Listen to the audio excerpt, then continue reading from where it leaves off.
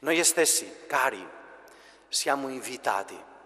E Padre Pio invitava a vivere la Santa Messa in questa disposizione come un bambino che rimane stupito davanti alla presenza di Cristo crocifisso e risorto che ci permette di rimanere sconvolti della bellezza e permettere che si imprima nel nostro cuore queste ferite che ci parlano dell'amore misericordioso.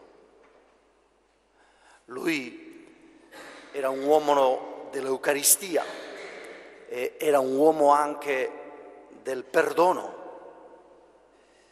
proprio perché in lui la vita di Cristo aveva diventato un, una vera immagine.